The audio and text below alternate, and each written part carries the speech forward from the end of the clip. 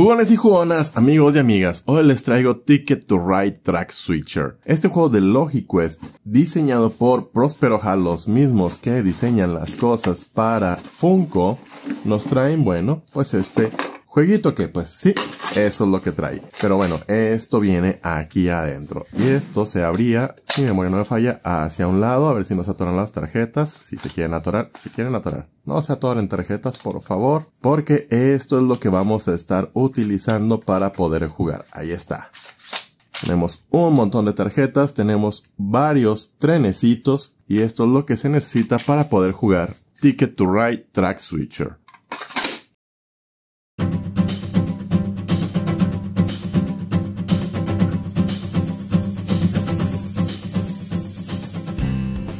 Ticket to Ride Track Switcher es un juego para una persona. A lo mejor pueden jugar dos para jugar en paralelo, darse tips o demás, donde tenemos un montón de tarjetas, como pueden ver, van cambiando de color, donde va incrementando la dificultad. Así que estas negras son las más difíciles. Tenemos en total 40 posibles retos. Entonces va de verde, azul, rojo y súper difícil. Y aquí nos dice, bueno, cuántos puntos de victoria vamos a recibir dependiendo de cuántos movimientos hayamos hecho. Por ejemplo, con tres movimientos ganamos tres estrellas, con cuatro movimientos dos estrellas y con cinco movimientos una estrella. Aquí en la parte de atrás nos explica cómo es que es todos los movimientos que podemos hacer. Para eso, bueno, tenemos por acá lo que es nuestras acciones posibles. Podemos movernos, empujar, conectar, desconectar y detenernos. Y de este otro lado podemos ver pues cómo nos divide todas las secciones de cada una de las vías. Por ejemplo, aquí es A, B, C, D. Y así vamos a ir viendo qué es todo lo que tenemos. Entonces aquí están todos los stops y así. Tenemos de acciones, bueno, el move y el stop. Y pues todas estas que tenemos por acá. Comenzamos moviéndonos, nos detenemos y ahí termina la acción. Todo lo demás es gratis. Por ejemplo, en este ejemplo nos dice que empieza esta en la B y esta en la G. Y cómo es que se van moviendo. ¿Qué es lo que tenemos que hacer? Se juntan, se mueven, se acoplan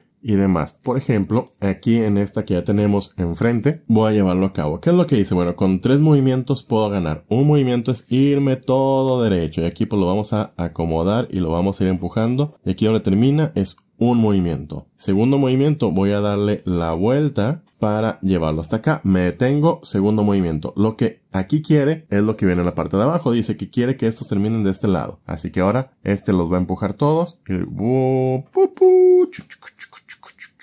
Si se atora así, bueno, nomás hay que empujarlo más. Está un poco flimsy esa parte, pero pues el punto es este. Entonces, un movimiento fue venir para acá, segundo movimiento darle la vuelta, tercer movimiento llegamos hasta acá. Y pueden utilizar estos para ir llevando el conteo de los movimientos que llevan. Por ejemplo, fue un movimiento, dos movimientos y tres movimientos. Y listo. Entonces ya con eso la he completado y gano tres estrellas. ¿Quieren algo más complicado? Bueno, vamos a pasar a la segunda. En la segunda aquí nos dice que empieza el verde aquí, empieza la locomotora por acá, viendo hacia allá, y quiere que termine, pero con la locomotora viendo hacia acá, en tres movimientos. Así que vamos a suponer, por ejemplo, que hago el movimiento para acá, y esto es uno, hasta aquí. Dos es, yo creo que puedo darme la vuelta por acá.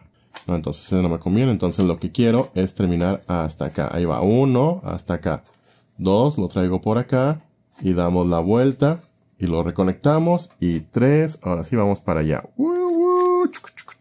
A veces se atora, ahí está, están conectados y listo, hemos llegado al final del camino. Si de repente se atora bastante, pero pues es la idea. Ahí vamos a regresarlo a cero y ahí está, esa es la segunda. Y pues de una vez vamos a hacer el tercero. El tercero está aquí y dice que ahora vamos a tener la locomotora por acá, el verde aquí atrás pegado, el azul por acá y lo que quiere es que terminemos acá abajo los tres conectados. Tres movimientos, cuatro movimientos o cinco movimientos. Entonces, por ejemplo, lo que puedo hacer con mi movimiento 1 es venirme todo para acá. Ay, y este va ahí pegadito. Mi movimiento 2, a mí me voy a llegar hasta acá. Mi movimiento 2 va a ser venir todo para acá, hasta atrás, para conectarlo. Y mi movimiento 3 va a ser, ahora sí, hey, empújate para acá.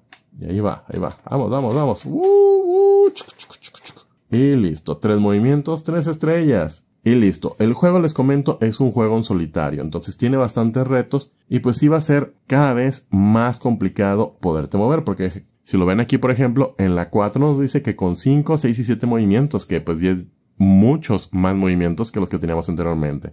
Y si tienen duda de si lo hicieron bien, por ejemplo, ahorita vamos a revisar esta. Dice aquí que en el caso es el 1, vamos a moverlo hacia adelante desde G hasta A. Sabemos que A es por acá y la A es la A azul. Así que revisamos por acá y sí, lo traje todo hasta acá a la A azul. Después dice que de la A azul nos vamos a mover hasta la C y pues sí, me lo traje por aquí todo hasta acá hasta la C, donde conectamos con el que estaba acá. Y por último, posiblemente hacemos el acople, que esa es una acción gratis y nos movemos todo para acá. También las otras les dicen, ¿sabes qué? Por ejemplo, aquí vas a moverte del y al B. Después vas a hacer que este se dé la vuelta de B a B, que fue que, lo que hice por aquí así. Y lo último es que vas a conectarlo y te vas a mover todo hasta acá. Entonces, efectivamente, así pueden ver si están llevando a cabo bien las acciones. Al principio pues es un poco complicado de identificar lo que son los símbolos y lo que está pasando, pero pues una vez que lo empiezan a jugar se van a dar cuenta de todo esto. Creo que lo más que hice fueron cinco retos porque pues estaba ocupado con otras cosas y pues se me ha olvidado sacarlo de su caja para volver a jugarlo. Lo padre pues es que aquí todo lo pueden guardar. Si se atora de repente tengan cuidado con eso, si pueden ponerle alguna cinta o algo de esa cinta especial para que no se separen porque si no, en el momento en que lo abran, pues se va a salir y van a topar todos aquí y pues se puede doblar sus hojitas. Pero por ejemplo así, yo creo que esto cabe bastante bien. Ponemos esto por acá, ahí ya quedó listo y ya por último, pues agarramos estos y los guardamos. Uno por ahí, estos por acá, estos por acá.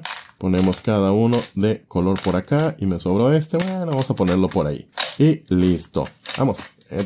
Listo. Eso es todo lo que tengo de lo que es Ticket to Ride Track Switcher diseñado por Pampero Hall, publicado por LogiQuest. Les repito, es un juego solitario. Y así como yo, bueno, deduzcan ese puzzle, piquen el botón de suscribir y sobre todo, recuerden jugar algo diferente.